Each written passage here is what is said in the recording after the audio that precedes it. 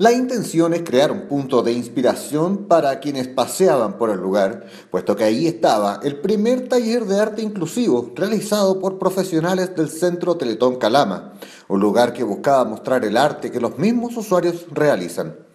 Y nosotros con los niños salimos a recorrer la zona, salimos a recorrer la arquitectura, la arqueología, los mm, bailes tradicionales que se hacen cerca acá. Y con esos registros los niños crearon obra.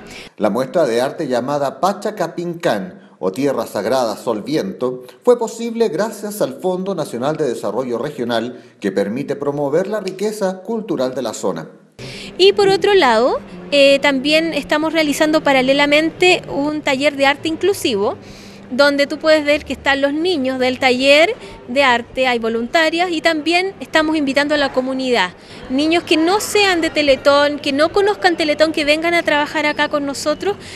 Un proyecto desarrollado durante el primer semestre de este año, donde niños y jóvenes que participaron optaron por culminarlo de esta forma, mostrando así su valor a la comunidad del LOA.